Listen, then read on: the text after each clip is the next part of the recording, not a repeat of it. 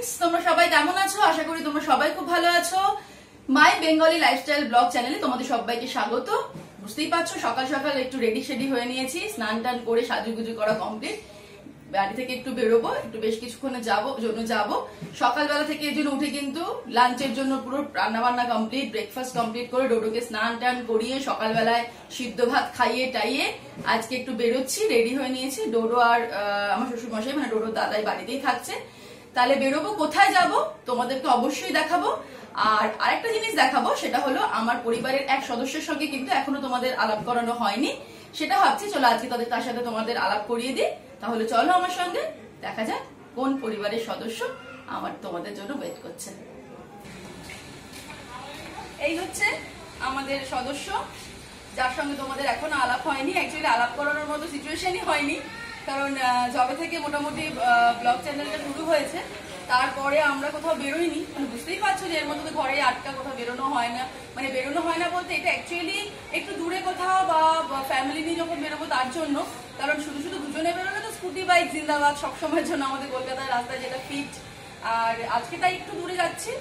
তাই জন্য এটাকে নিয়ে যাচ্ছে। আর একটু দরকারও রয়েছে, সেই কারণে এটাকে মানে একে সঙ্গে করে নিয়ে যাওয়া। তাহলে চলো বাকি কথাটা বসে যেতে যেতে বলা যাচ্ছে।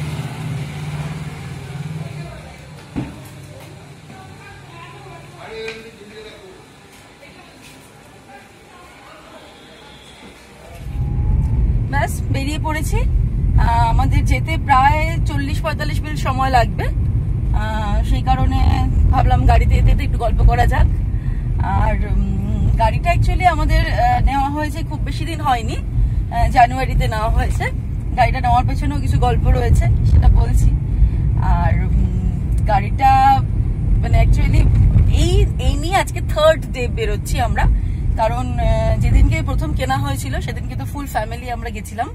গাড়িটাকে আনতে মানে গাড়ি আমার নতুন সদস্যকে রিসিভ করতে শোরুম থেকে। সবাই মিলে গেছিলাম, সেই ছবিটা তোমাদের সঙ্গে শেয়ার করব, সেই ছবিগুলো। সবাই মিলে গিয়ে প্রথমে শোরুম থেকে গাড়িটা নিয়ে, তারপরে কালীঘাটে পুজো টুজো দিয়ে আমরা বাড়ি ফিরে এসেছি। আর কিছু হয়নি, কারণ সেদিনকে ওটা নিয়ে ফিরতে ফিরতে আমাদের বেশ খানিকটা রাত হয়ে গেছিল। মানে আটটা সাড়েটা মতো বেজে গেছিল, যেন আর কোথাও যাওয়া হয়নি। আর তারপরে একদিন বেরিয়েছিলাম, সেটা হচ্ছে গাড়ির নাম্বার প্লেটটা লাগানোর জন্য। আমি আর প্রেমী গেছিলাম সেটা হতে মানে সেটা হতে মনে হয় মার্চের শুরুর দিকে বা ফেব্রুয়ারির একদম এন্ডের দিকে আমার এক্সাক্টটা মনে নেই। সেই গেছিলাম তখন জাস্ট বেরিয়ে মানে শোরুমে গিয়ে নাম্বার প্লেটটা লাগিয়ে নিয়ে চলে এসেছিলাম।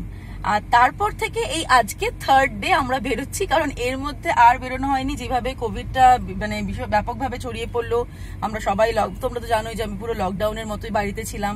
একদম পুরো বাড়ি থেকে কোথাও বেরোইনি। সেই জন্য আর গাড়ি নিয়ে বেরোনোর কোনো প্রশ্নই নেই। ফ্যামিলি নিয়ে নিয়ে তো এর মধ্যে কোথাওই বেরোনো হয়নি। ইনফ্যাক্ট ডোডোকেও বাড়ির থেকে বাইরে বার করা হয়নি, সেটাও তোমরা জানো। সুতরাং যেখানে এখানে টুকটাক দরকারে গেছি, দুজনে মিলেই গেছি, আমি আর প্রেম, আর সেটা স্কুটি নয় হলে বাইকে করেই গেছি। তা আজকে অনেকদিন পর গেলাম মানে এই গাড়ি নিয়ে বেরো, বেরোলাম। অ্যাকচুয়ালি আমিও ড্রাইভিং জানি না, প্রেমও ড্রাইভিংটা সবে শিখছে। সেই জন্য ড্রাইভিং মানে প্রেম এখনও ড্রাইভ করছে না। গাড়ি ও সবে মাত্র শিখছে শিখছে মানে এখনও ফুল টোটাল মানে একদম পুরোটা হয়েও যায়নি। কারণ মাঝখানে তো কোভিড এর জন্য আবার বন্ধও করেছিল মানে হাফ মানে টোটাল বোধ হয় টোয়েন্টি ডেজ না ফোরটিন ডেজ ক্লাসের মধ্যে সেভেন ডেজ ক্লাস ওর কমপ্লিট হয়েছে। আর কোনো সেভেন ডেজ ক্লাসটা বাকি রয়েছে কারণ এই কোভিড এর জন্য মাঝখানে বন্ধ করে দিয়েছিল তারপর আবার এখন এর মধ্যে নেবে ভাবছে। ক্লাসটা কমপ্লিট করলে তারপরে ওর লাইসেন্সের জন্য এক্সাম দিতে হবে তারপর ও লাইসেন্সটা পাবে আহ, তো সেই জন্য আমাদের একজন ড্রাইভার দাদা আছেন, শঙ্করদা বলে উনি সব মানে মোটামুটি দুবার গেছি। প্রথম দিন তো শোরুম থেকেই ড্রাইভার আমাদেরকে বাড়ি পর্যন্ত গাড়িটাকে ডেলিভারি করে দিয়ে গেছিল। তো তারপর যেদিন দুদিন বেরিয়েছে শঙ্করদা আমাদের সাথে দুদিন বেরিয়েছে।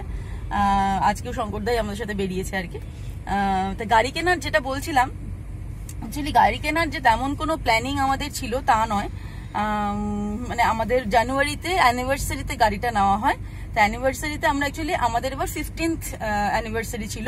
তা যেহেতু আমাদের বিয়েটা ওই ঐতিহাসিক যুগে হয়েছে মানে অনেক দিনের পুরনো টু থাউজেন্ড সিক্সে তা আমরা প্ল্যান করেছিলাম যে প্রথম প্ল্যান করলাম যে টেন্থ অ্যানিভার্সারিতে আমরা একটা সেলিব্রেশন করব, মোটামুটি একটা পার্টি থ্রো করব, সব বন্ধুদেরকে নিয়ে বা ফ্যামিলি রিলেটিভসদেরকে নিয়ে একটা একটু একটু একটু বড় মতো আর কি পার্টি করব। সেটা মানে ক্যান্সেল হয়ে, করে দিতে হয়, কারণ ডোডো সে বছরই স্কুলে অ্যাডমিশন ছিল। মানে টু থাউজেন্ড সিক্সটিনের কথা বলছি এটা। টু থাউজেন্ড সিক্সটিনে এখন অ্যাডমিশন অ্যাডমিশনে একটা হিউজ খরচের ব্যাপার ছিল যে স্কুলের সবটা মিলিয়ে আর কি। তো সেই জন্য আমরা ওই প্রোগ্রামটা পোস্টপন করে দিই যে না, আমাদের অ্যানিভার্সারিটা করা যাবে না। তখন আমরা প্ল্যান নিলাম যে তাহলে আমরা টু থাউজেন্ড মানে আমাদের এখন ফিফটিন ইয়ার্স হবে। মানে ফিফটিন্থ অ্যানিভার্সারিটা একটু বড় করে মানে একটা পার্টি থ্রো করব বা একটা কিছু প্ল্যানিং করব। তা দেখো, আমাদের এমনই কপাল যে সেটা এবছর টু থাউজেন্ড টোয়েন্টি ওয়ান তা এবছরই আমাদের ফিফটিন্থ অ্যানিভার্সারি ছিল, কিন্তু এখন এমন সিচুয়েশন যে কোনো অনুষ্ঠান করার কথা তো কেউ ভাবতেই পারছে না কোভিড সিচুয়েশনে কারণ মানে অনুষ্ঠান করাটা আমার মনে হয় যে তাদের খুব দরকার না পড়লে মানে বিয়ের পারপাসটাই একটা হয়তো খুব দরকারি জিনিস যে বিয়েটার জন্য হয়তো খুচখাচ টুকটাক অনুষ্ঠান হচ্ছে, কিন্তু অ্যানিভার্সারি বড় করে পালন করার মতো এই সময়টা এখন মোটেও সুইটেবল নয়। তাই আমি আর প্রেম ডিসিশন নিয়ে ডিসেম্বর নাগাদ যে তাহলে একটা ফোর হুইলার কেনা যায় যাতে এই সময়টাতে এর দরকারটাও খুব বেশি পড়ছে কারণ ফ্যামিলি নিয়ে বেরোতে গেলে এখন যেগুলো রেগুলার ট্রান্সপোর্ট মানে পাবলিক ট্রান্সপোর্টটা একদমই ইউজ করা তো যাচ্ছেই না। আর তার সঙ্গে ওলা উবেরটাও খুব রিস্কি মানে ওলা উবেরটাও যাওয়া যাতায়াতটা খুব রিস্কি ওলা উবেরে গত বছর থেকে যেমন দিয়েছি দেখছি যে দু তিন জনের বেশি দুজনের বেশি অ্যালাউ করছে না। তো সেগুলো বিভিন্ন রকম সমস্যা হচ্ছে। তাই এটা কেনা ডিসিশন নেওয়া হলো তা আমরা তখন গিয়ে বুক করি। তা আমরা জানুয়ারিতে অ্যাকচুয়ালি জানুয়ারিতে ওটা পাইনি। আমরা মানে জানুয়ারির শেষের দিকে আমরা এটা ডেলিভারি পাই। আমরা এখন টালিগঞ্জ পেট্রোল পাম্পে একটু পেট্রোল নিয়ে নিতে হচ্ছে, কারণ বহুদিন তো বললামই বার করা হয়নি। তেল টেল তো নেওয়া হয়নি, তাই বেরোলেই এখন একটু তেল তো নিতেই হবে। তেলটা নিয়ে নিল, আমাদের শঙ্করদা নিয়ে নিল। তারপর আমরা আবার এগিয়ে যাব। আর তোমাদেরকে এবার বলব যে ধরো এই যে গাড়িটা আমরা নিয়েছি এই গাড়িটা কেন এটা চুজ করলাম? গাড়ি তো প্রচুর প্রচুর প্রচুর আছে। তার একটা কিন্তু অনেক বড় কারণ হাওয়া? আছে। হাওয়া আমি তো জানি না তুমি চেক করে হ্যাঁ। দেখে নাও। নিয়েই নাও। হ্যাঁ দরকার পড়লে নিয়ে নাও। অ্যাকচুয়ালি গাড়ির সম্পর্কে মানে আমরা একদমই আহ, মানে অভিজ্ঞ নই সত্যি কথা বলতে। কারণ এর আগে যেহেতু গাড়ি ছিল না গাড়ি সম্পর্কে একদমই আমাদের জ্ঞান খুবই কম। কারণ আমাদের শঙ্করদা আমাদেরকে সবসময় সে গাইড করে যে এটা করে নিন এটা করে নিন। ইনফ্যাক্ট একটা মোছার কাপড় কিনতে হবে একটা পালকের কি যেন বলে ওটাকে বলো ওই ফুল ঝাড়ু কিনতে হবে এগুলো আমাদের শঙ্করদা গাইড করে দেয় আর কি বা দিয়েছে। আমরা ভীষণভাবে ডিপেন্ডেন্ট শঙ্করদার ওপরে এইসব ব্যাপার নিয়ে যেমন এক্ষুনি শঙ্করদা যেগুলো গাড়ি থেকে হাওয়া নিতে হবে আমরা বললাম তুমি দেখে নাও হাওয়াটা যদি নেওয়ার হয় তাহলে নিয়ে নাও। তা গাড়িটা যখন আমরা মানে কিনবো প্রথমে ডিসিশন নিলাম যে একটা গাড়ি কিনবো তখন আমাদের প্রথম ক্রাইটেরিয়া ছিল সেটা ফ্যামিলি কার হতে হবে। কারণ যদি যেগুলো ফোর সিটার গাড়ি আর কি ফোর সিটার গাড়িতে তো আমাদের ফুল ফ্যামিলি ধরবে না। কারণ আমাদের ফ্যামিলিতে সাতজন মেম্বার অ্যাকচুয়ালি সাতজন নয়, সাড়ে ছয় জন। কারণ মা, বাবা, মান্তু, আমি, প্রেম, আমার শ্বশুরমশাই আর ডোডো হচ্ছে হাফ ডোডোকে যদি হাফ ধরি, তাহলে আমরা সাড়ে ছজন মেম্বার আর তার সঙ্গে তো ড্রাইভার দাদাকে লাগবেই। সুতরাং এরকম একটা গাড়ি নিতে হবে, যেটা মিনিমাম সেভেন সিটার গাড়ি আর কি। তা সেভেন সিটার গাড়ির তো মোটামুটি প্রচুর দাম। তা আমরা তখন খোঁজ শুরু করি যে এমন একটা সেভেন সিটার গাড়ি আমাদের লাগবে যেটার বাজেটটা সব থেকে কম। কারণ সেটা হচ্ছে সব থেকে বড় ক্রাইটেরিয়া আমাদের কাছে। সেভেন সিটার গাড়ি একটা লাগবে বাজেটটা সব থেকে কম। কারণ যখনই এক্ষুনি বললাম যে গাড়িটা মেনলি হচ্ছে ফ্যামিলি পারপাসে ইউজ করার জন্য, আমাদের দুজনের জন্য গাড়িটা ইউজ করা না। আর কোনো রকম দরকারে পড়লে তখন তো সেটা ইউজ করতে হবে। কিন্তু মেনলি দরকার হচ্ছে যে ফ্যামিলি নিয়ে, বয়স্কদের নিয়ে, মা, বাবা শ্বশুর মশাই এদেরকে নিয়ে যখন কোথাও একটা বেরোনো, তাদের জন্য গাড়িটা খুবই যাতে হেল্পফুল হয়। তো তখন বেরিয়ে আমাদের এই গাড়িটাই চোখে পড়ল, যেটা মার্কেটে অ্যাভেলেবেল যে সব থেকে কম রেঞ্জের তোমার সেভেন সিটার গাড়ি। তার বাকিটা প্রেম, তুমি বলো। তারপরে তো দুজনে মিলে শোরুম গুলোতে বিভিন্ন রকম দেখতে শুরু করলাম বিভিন্ন শোরুমে শোরুমে গিয়ে খোঁজ নিলাম। খোঁজ নেওয়ার পরে আমরা এটা নিয়েছি হচ্ছে হলো একটা জায়গাটার নাম কি? মিন্টো পার্ক মিন্টো পার্কে যে হ্যাঁ মানে গাড়িটা তো ড্রাইভার গাড়ি। অ্যাকচুয়ালি এটা হচ্ছে রেনোর গাড়ি। রেনো আমরা প্রথমে এটাও জানতাম না রেনো বলে। ওটাকে জানতাম রেনল্ট বলে। মানে আমরা এতদিন জেনে এসেছি গাড়ি কেনার আগে। যে ওটাকে রেনল্ট বলে অ্যাকচুয়ালি রেনল্টের শোরুমে গিয়ে মানে তথাকথিত রেনল্টের শোরুমে গিয়ে জানতে পারলাম, ওটা রেনল্ট নয় রেনো রেনো কোম্পানি আর কি রেনো নাম। তা রেনো ড্রাইভার গাড়িটা আমাদের পছন্দ হলো যে না, এটা ধরো মোটামুটি বাজেটের মানে এটাও ওভার বাজেটই তো তাও এটাকে মানে এটাই আমাদের অপশন আর কিছু অপশন নেই। তার জন্য এটা নেওয়া হয়েছে। এবার তারপরে হলো কালার চুজিং এর ব্যাপার, যে কি কা- কোন কালারটা আমরা নেব। কালারের মধ্যে এই গাড়িটার মধ্যে পাঁচটা কালার আছে, একটা হোয়াইট একটা অ্যাশ একটা ব্লু একটা চেরি রেড আর একটা হচ্ছে এই কালারটা এটা হচ্ছে হলো মেটাল মাস্টার তখন আমাদের বাদ বাকি অ্যাকচুয়ালি আমার আর প্রেমের লাল রংটা পছন্দ কিন্তু ওই ড্রাইভারের মধ্যে যে রেড কালারটা সেই রেড কালারটা আমাদের পছন্দ না কারণ ওটা হচ্ছে চেরি রেড মানে আমাদের অ্যাকচুয়ালি ওই টমেটো টমেটো টাইপের যে রেডটা হয় না মানে মানে কীরকম বলব একটু গ্লজি মতো রেডটা আমাদের পছন্দ কিন্তু এই ড্রাইভারের মধ্যে ওই রেডটা নেই অ্যাভেলেবেল নেই। তাই জন্য আমাদের এই ইয়েলো মানে মেটাল মাস্টার্ড কালারটাই আমরা চুজ করলাম। তারপরে কি হলো? আমরা এগুলো এই সমস্ত কথাগুলো কিন্তু আমাদের মানে ফ্যামিলি মানে বাবা, মা, মান্তু ইভেন ডোডো ইভেন আমার শ্বশুরমশাই কাউকে আমরা কিচ্ছু বলিনি। প্রথম থেকে যে গাড়িটা আমরা মানে গাড়ি কিনবো বা গাড়ি বেরোচ্ছি শোরুমে বেরো মানে চুজ করেছি বা এসে করেছি, সমস্ত কিছু একদম পুরো ওদেরকে সারপ্রাইজ দেবো বলে একদম পুরো ব্যাপারটাকে চেপে গেছিলাম। দিয়ে গাড়ি আমরা বুক করলাম বুক করার পরে গাড়ি যেদিনকে ডেলিভারি দেওয়ার কথা আমাদেরকে সমস্ত রকম মানে পেপার ওয়ার্কটা সমস্ত হয়ে গেল। ডেলিভারি দেওয়ার দিনকে আমরা ফ্যামিলিকে বললাম মানে মাদেরকেও প্লাস আমার শ্বশুর মশাইকেও সবাইকে বললাম যে আমরা একটু কালীঘাটে চলো, সবাই মিলে পুজো দিতে যাব। তো এটা বলে সবাইকে উবের বুক করে নিয়ে যাওয়া হলো। এবার উবের বুক করে যখন আমরা কালীঘাটের পাশ দিয়ে মানে আমরা ধরো মানে বেরিয়েছি বিকেল বিকেল নাগাদ মানে চারটে ফাট্টে এরকম নাগাদ বেরিয়েছি কারণ আমাদের শোরুমে যেরকম টাইম দিয়েছিল তার ঠিক আধ ঘণ্টা আগে বাড়ি থেকে বেরিয়েছি। দিয়ে যখন কালীঘাটের পাশ দিয়ে চলে যাচ্ছি তখন অ্যাকচুয়ালি ছজন তো হয়নি সেতে প্রেম আর মান্তু বোধহয় আহ, ইসেতে গেল মানে বাইকে গেল। না বাইকে গেল না আলাদা একটা আলাদা একটা উবেরে গেল। আর আমরা বাদ বাকিরা একটা উবেরে গেলাম। এবার যখন আমি ছিলাম মানে বড়দের সঙ্গে আর যখন কালীঘাটের পাশ থেকে গাড়িটা চলে যাচ্ছে উবেরটা চলে যাচ্ছে, আমার বাবা যখন প্রশ্ন করছে কি রে কালীঘাট তো এখানে? আমি বললাম, আমি জানি না, প্রেম মিন্টু পার্কে কি একটা কাজ আছে না কি আছে? ওখানে ওকে এক্সাইটের ওখানে আমাদেরকে দাঁড়াতে বলেছে, ওর কোনো একটা দরকারে আছে, ওখানে কিছু একটা দরকার পারপাসে আছে। আর আমার শ্বশুরমশাইকে বলা হয়েছিল যে, আধার কার্ডের কিছু একটা সমস্যার জন্য তোমাকে এক্সাইটে নিয়ে যাওয়া হচ্ছে। মানে এরকম সব মিলিয়ে ওনাদেরকে বিষয় টিসে বুঝিয়ে টুজিয়ে আমরা মিন্টু পার্কে যখন শোরুমে নিয়ে গেলাম, তখন মারা হাসছে। মানে মারা তখন একটু একটু একটু আইডিয়া করছে। এবার মারা তাও সেটা বোঝেনি মানে মা বাবা, আমার শ্বশুরমশাই তাও সেটা বোঝেনি যে আজকে এটা ডেলিভারি নেব আর কি। ডেলিভারি নিয়ে নেব সেটা বুঝিনি। বলছি, ভেবেছি ওদের বুকিং টুকিং করব, কিন্তু তারপর যখন দেখল যে আলটিমেটলি না, আজকেই ডেলিভারি পাওয়ার কথা, তখন তো সবাই খুব আনন্দ পেল, সবাই খুব খুশি হলো। কিন্তু আমার শ্বশুরমশাই এই গাড়িটা দেখে বলল যে এই আর কোনো কালার ছিল না। আমার আর ভেবে খুব হাসি পেয়েছিল, বলে আর কোনো কালার ছিল না। মানে তখন বুঝলাম যে বাবার খুব একটা এই কালারটা পছন্দ হয়নি। অ্যাকচুয়ালি লালটাই লালটা সবারই পছন্দ, আমাদের ফুল ফ্যামিলির লালটা পছন্দ।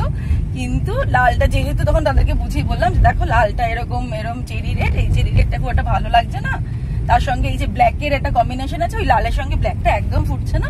তখন তারা বোঝাতে বাদ বাকি ছবি টবিগুলো দেখাতে, ওখানে শোরুমে বসি। তখন তারা ব্যাপারটাকে এসে করল। তারপর ওখানে আমরা শোরুমে সবাইকে মিষ্টি ফিষ্টি খাইয়ে ওখান থেকে বেরোলাম। প্রায় আটটা বেজে গেল, সমস্ত কিছু হতে হতে মানে গাড়িটা যেমন বিভিন্ন রকম অ্যাক্সেসরিজ লাগানো হচ্ছিল তারপরে আরও রকম, আরও যেগুলো মানে কিছু কাজ বা ছিল পালি পলিশ টলিশ এগুলো হচ্ছিল। কারণ ওটা তো একদম পুরো এসে থেকে এসেছিল। ওইটা কি এনে বলে ওটাকে? ব্যাঙ্গালোর থেকে? না না। ব্যাঙ্গালোর চেন্নাই? সে তো চেন্নাই থেকে তো এসছে সেটা না মানে ওই যে গোডাউন থেকে অ্যাকচুয়ালি গোডাউনটা বোধহয় ওদের ওই সে বলো না ধুলাগড় না কোথায় একটা জায়গা মানে বলো ঘটকপুকুর। ঘটকপুকুর, ঘটকপুকুর ঘটকপুকুর মনে বলো ঘটকপুকুর ওখান থেকে এসেছিল। তো একটুখানি ওরা পুরো ডেলিভারি করার আগে পুরো পলিশ টলিশ করে দেয়। তারপরে কি সেরিমনি হলো? সেটা বেশ ভালো লাগল। মানে শোরুমে সব সবাই সব এমপ্লয়িরা ইনক্লুডিং ম্যানেজার সবাই এসে আমাদের জন্য ক্ল্যাপ করল। আমাদের ম্যানেজার কিটা আমাদের হাতে তুলে দিলেন। তো এইগুলো সমস্ত হতে হতে এইগুলো হতে হতে আটটা বেজে গেল। তারপর আমরা ওখান থেকে বেরিয়ে কালীঘাটে পৌঁছালাম। কালীঘাটে পুজো টুজো হলো গাড়িটা পুজো হতে একটু সময়ও লাগল। পুজো টুজো করে আমরা ওখানে, আমরা ফেরার সময় সাইমা থেকে মানে এক্সাইডের মোড়ে সাইমা থেকে বিরিয়ানি পিক আপ করে নিলাম। বিরিয়ানি পিক আপ করে নিয়ে চলে এলাম বাড়িতে। তারপরে এসে তো খুব মজা, সবার খুব হাসাহাসি, যে তোরা আমাদেরকে বলিস নি, এরকম এরকম সারপ্রাইজ দিই অ্যাকচুয়ালি আমি আর প্রেম সারপ্রাইজ দিতে খুব পছন্দ করি। সারপ্রাইজ দেওয়াটা আমাদের খুব ভালো লাগে। সব সময় সারপ্রাইজ দিয়েছিলাম। ফ্ল্যাটটা কেনার সময় এরকম সারপ্রাইজ দিয়েছিলাম মা, বাবা, আমার শ্বশুর মশাইকে মান্তুকে। তা সেটা অন্য একদিন গল্পটা বলব।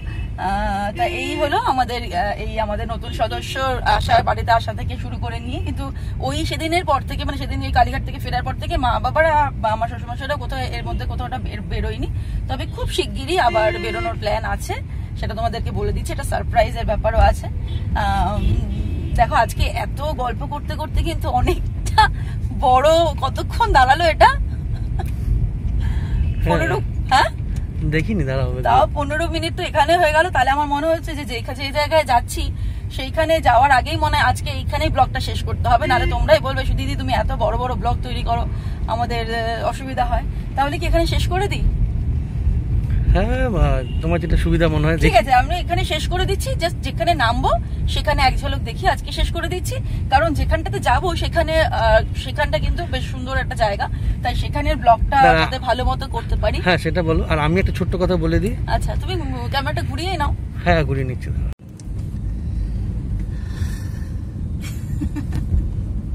আচ্ছা এই গাড়ি কেনার একটা ছোট্ট এক্সপিরিয়েন্স আমার আছে বা আমার হয়েছিল সেটাই শেয়ার করার জন্য আমি একটু সম্পর্কে বললাম যে আমি একটু কিছু বলি। সেটা হয়েছে যে একদিন ডোডোকে তো আমি স্কুলে দিয়ে আসতাম বা নিয়ে আসতাম।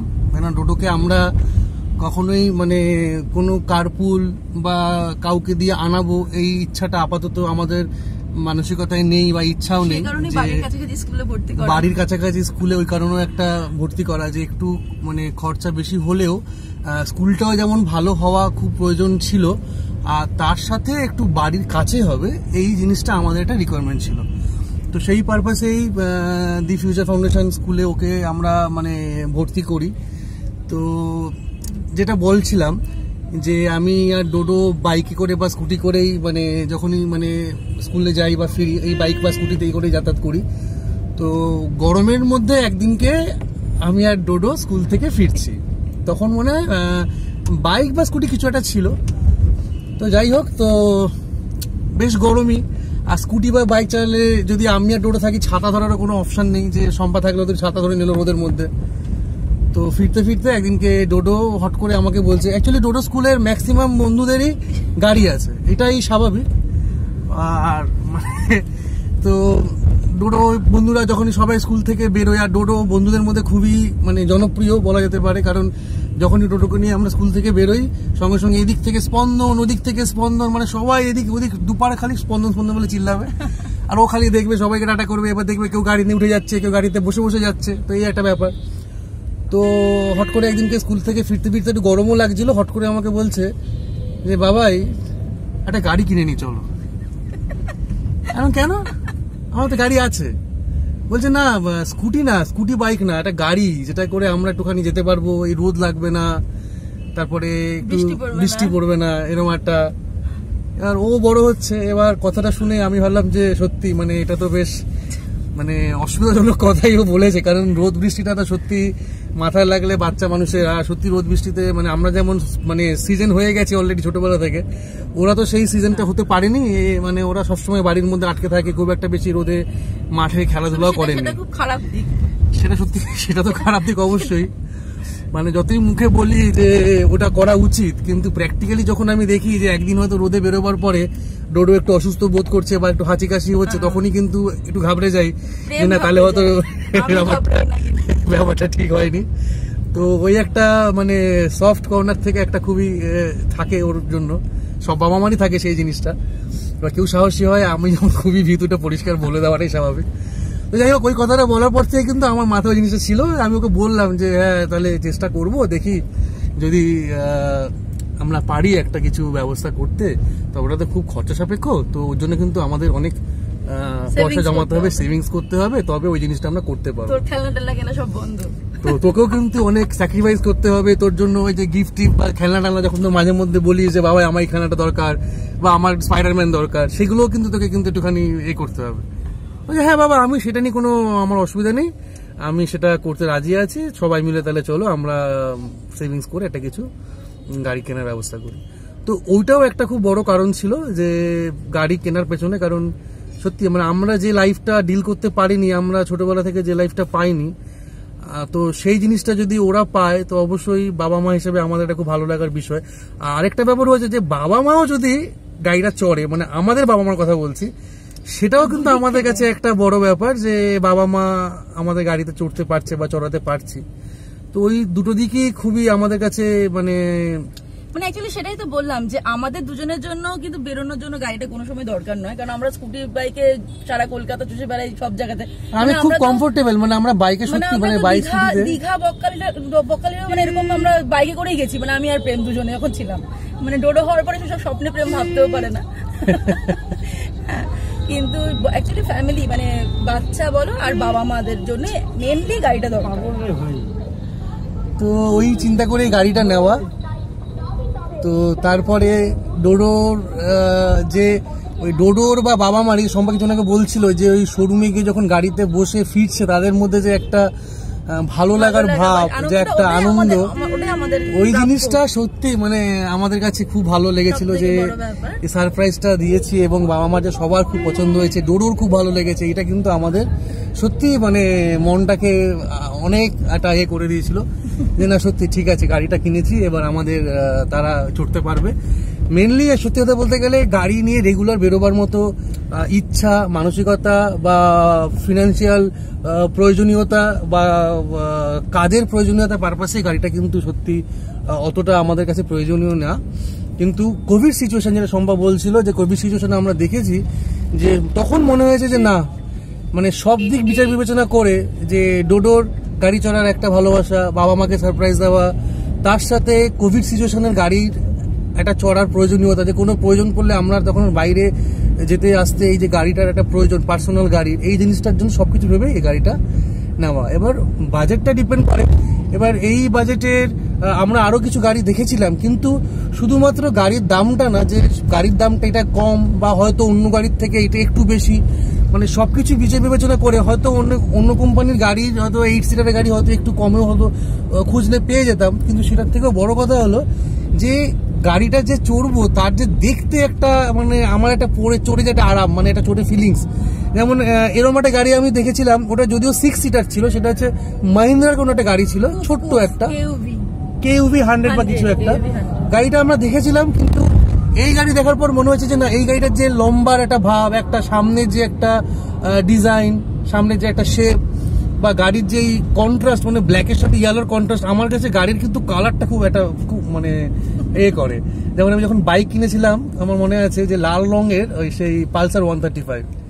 তো এই জিনিসগুলো কিন্তু খুব এ করে। তো এই পারপাসেই গাড়িটা দেখে খুব পছন্দ হয়েছিল মেনলি দামটা তো আমরা পরে চিন্তা ভাবনা করেছি। প্রথম কথা আমাদের রিকোয়ারমেন্ট ছিল সেভেন সিটার আর দেখতে ভালো লাগবে।